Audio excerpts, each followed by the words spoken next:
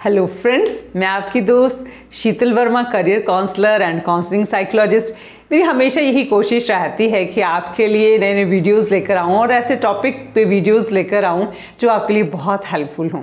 आज कुछ ऐसे ही टॉपिक के ऊपर हम बात करने जा रहे हैं। आज हम बात करेंगे कि ब्रेकअप के बाद मूव ऑन कैसे करें? बहुत सारे लोगों के साथ ऐसा होता है कि वो ब्रेकअप के बाद मूव ऑन ही नहीं कर पाते हैं। उनकी लाइफ कहीं ना कहीं स्टक होकर रह जाती है। वो हर्ट में दुख में पीड़ा में ही फंसे रह जाते हैं।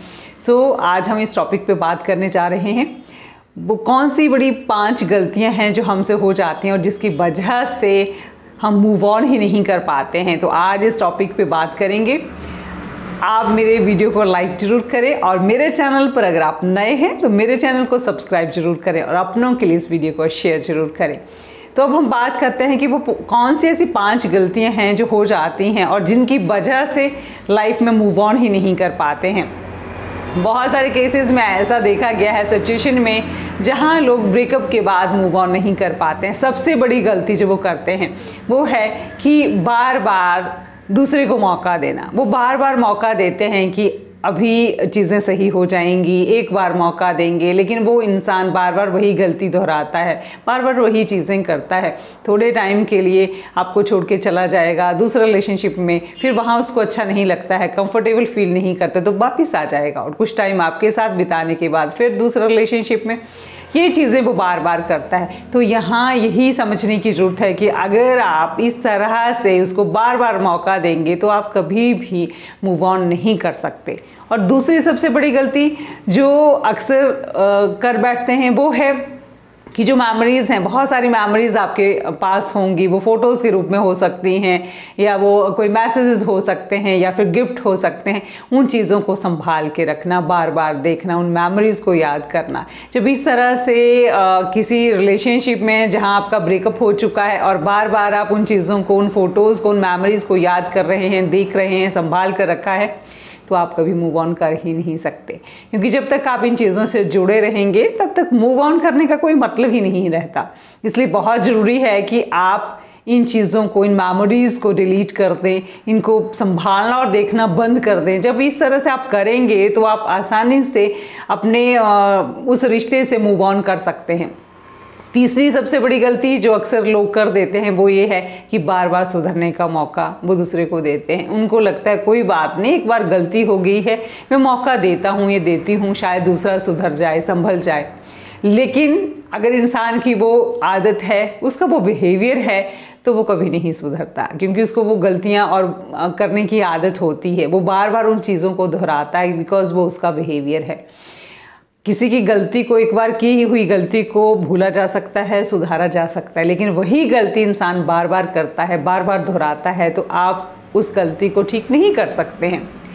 अगर रिश्ते में आप मूव ऑन करना चाहते हैं तो ये बहुत ज़रूरी है कि आप उन, उस इंसान पर काम करना छोड़ दें, उसको सुधारना छोड़ दें। इससे तो अच्छा है, आप खुद पर वर्क करें, अपने आप की तरफ़ देखें सेल्फ लव करें सेल्फ केयर करें और खुद पर पूरा ध्यान दें, खुद पर फोकस करें, जो कि बहुत इंपॉर्टेंट है, क्योंकि आप बहुत इंपॉर्टेंट हो।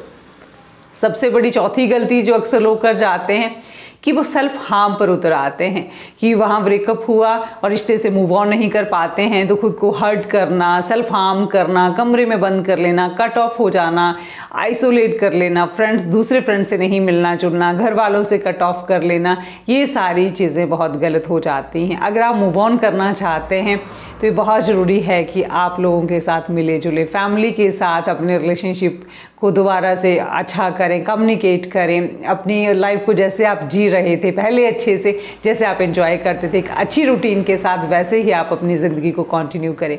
देखिए, आप इंपॉर्टेंट हैं, आपकी अपनी लाइफ बहुत इंपॉर्टेंट है। अगर दूसरा व्यक्ति आपकी वैल्यू नहीं करता, आपको इम्पॉर्टेंस नहीं देता तो आपको टॉक्सिक रिलेशनशिप में रहने की या उसकी वजह से हर्ट में रहने की, खुद को तकलीफ़ देने की कोई ज़रूरत नहीं है।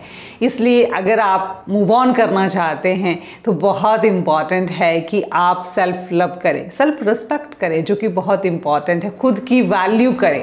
क्योंकि आप में बहुत सारी ऐसी अच्छी चीज़ें हैं, जिन पे आपको ध्यान देने की ज़रूरत है, खुद को वक्त दें। पांचवी सबसे बड़ी गलती, जो अक्सर लोग रिलेशनशिप में कर जाते हैं ब्रेकअप के बाद, उनको लगता है कि ठीक है, अब हमने ब्रेकअप कर लिया है, अब वो चीज़ें तो नहीं रही जो पहले थी, वो रिलेशन भी नहीं रहा तो अब हमें क्या करना है? अब हमें दोस्त बन के रहना है। हम दोस्त बन के तो रह सकते हैं। देखिए, ये सारी चीज़ें मैं खुद अपने यहाँ मेरे पास जो लोग आते हैं, जिनके इस तरह से ब्रेकअप हुए होते हैं और बहुत उस रिश्ते में वो तकलीफ़ में होते हैं तो उनकी मैं जब बातें सुनती हूँ तो वो यही कहते हैं कि चलो ठीक है, रिश्ते तो हमने तोड़ दिया, हमने उसको छोड़ दिया। लेकिन हम ये चाहते हैं कि अब एक दोस्त बनकर रहें। कभी हुआ तो बात कर ली, कभी हुआ तो मिल लिए, इस तरह से चीज़ें। तो मैं आपको यही कहना चाहूँगी कि देखिए, अगर आप इस तरह से चीज़ों को रखेंगे तो आप कभी भी उस चीज़ से निकल ही नहीं पाएँगे। आपकी लाइफ दूसरे के लिए एक टाइम पास बन के रह जाएगी। दूसरे का मन करेगा तो वो आपको कॉल कर लेगा। आपसे मिल लेगा, घूमने फिरने भी आपके साथ चला जाएगा एंजॉय कर लेगा। लेकिन आपकी अपनी लाइफ का क्या? इसलिए जब आपने किसी को छोड़ दिया है, अपनी लाइफ से निकाल दिया है तो टोटली उसको निकाल दिया है, ये मान के चलना है।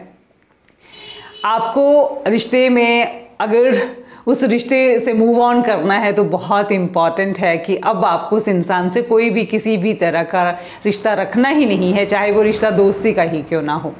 जब आप इस तरह से अपनी लाइफ में आगे बढ़ेंगे तो डेफिनेटली आप उस रिश्ते से उस ब्रेकअप से आसानी से मूव ऑन कर सकते हैं।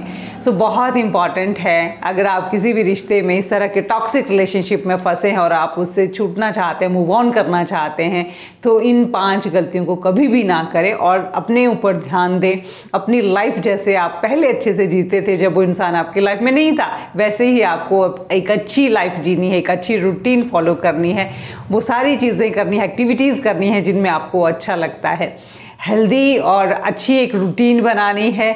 अच्छे लोगों के साथ अच्छे फ्रेंड्स के साथ जो आपकी लाइफ में पहले ही हैं उनके साथ आपको दोबारा वही बॉन्डिंग बनानी है जैसे कि आप पहले रहते थे। अगर इस तरह से आप सारी चीज़ें करेंगे तो बहुत आसानी से आप इस रिश्ते से जो टॉक्सिक है और आप उसको छोड़ना चाहते हैं आप आसानी से मूव ऑन कर सकते हैं। सो so, अपने कमेंट मुझे लिखकर ज़रूर भेजें कि ये वीडियो आपको कैसा लगा। और नेक्स्ट वीडियो में भी आप मेरे साथ बने रहें। आपके इस प्यार और सहयोग के लिए थैंक यू